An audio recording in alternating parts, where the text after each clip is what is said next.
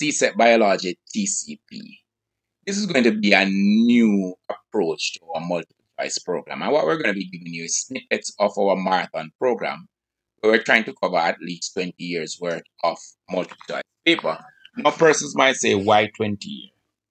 Um, why not 20 years?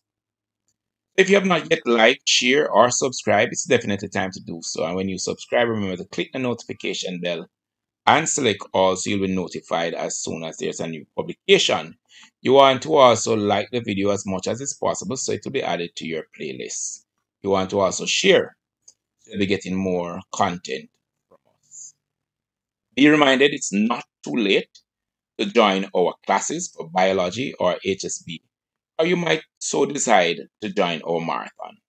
We're going to be giving you past papers from 2009 up to 2022. Follow us for more, and you want to watch this video to the very end, as we're going to be having playlists for biology, human and social biology, and agriculture. Let's hop right into the content. This is the 2009 May June Human and Social Biology paper. Which of the following is true for bacteria? They are pathogenic. That would have been virus.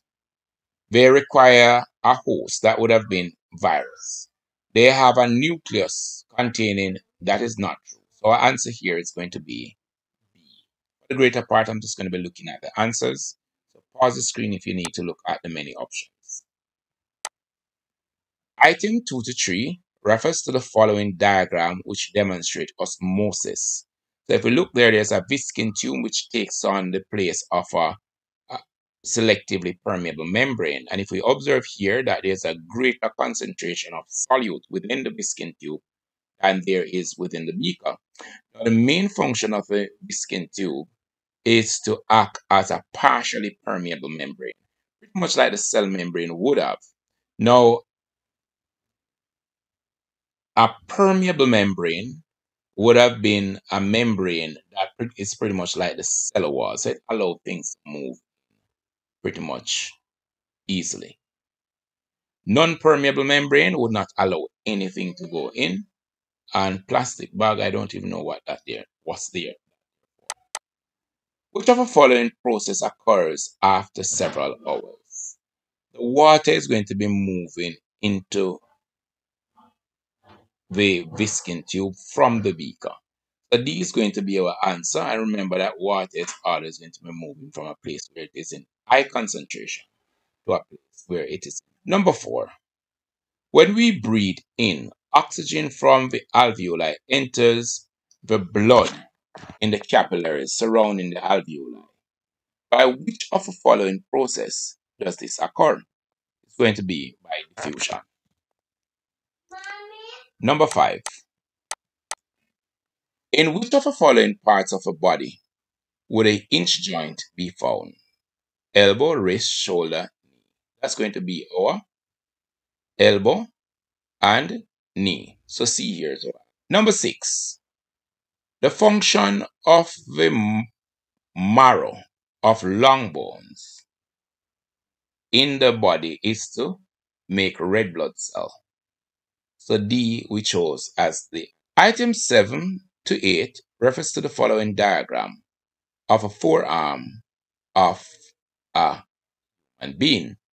Now we are tasked with in answering items 7 to 8, match each item with one of the options lettered structure above. Each option may be used once, more than once, or not at all.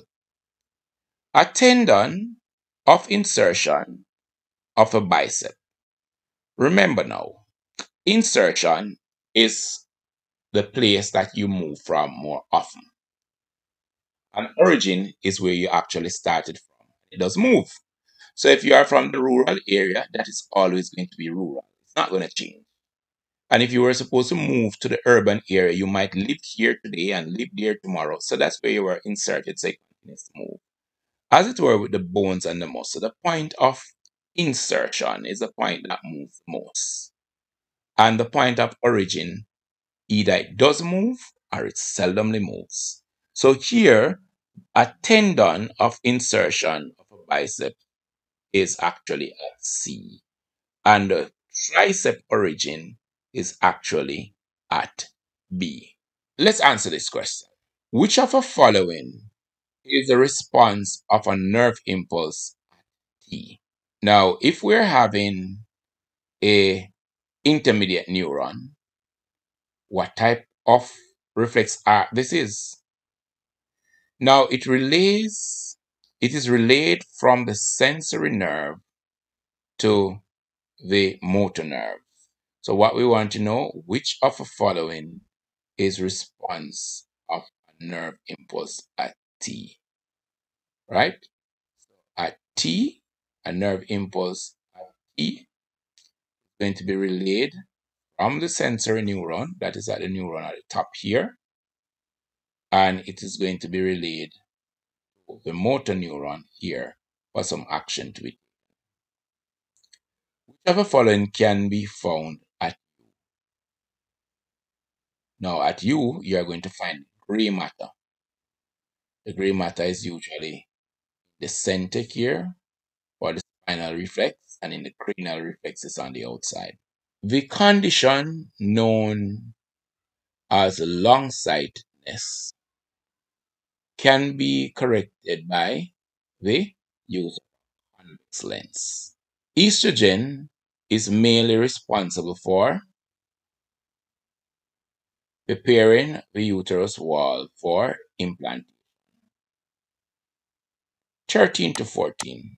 Item 13 to 14 refers to the following options red blood cell, white blood cell, platelets, plasma. Involved in blood clotting, that's going to be C, plasma. Carry oxygen, that is going to be A, red blood cell. Which of the following describes the function of a pacemaker of a heart? Regulates the heart rate. All right, you want to make sure that you pause the video if you need to to read the other options. Which of the following does not affect breathing rate?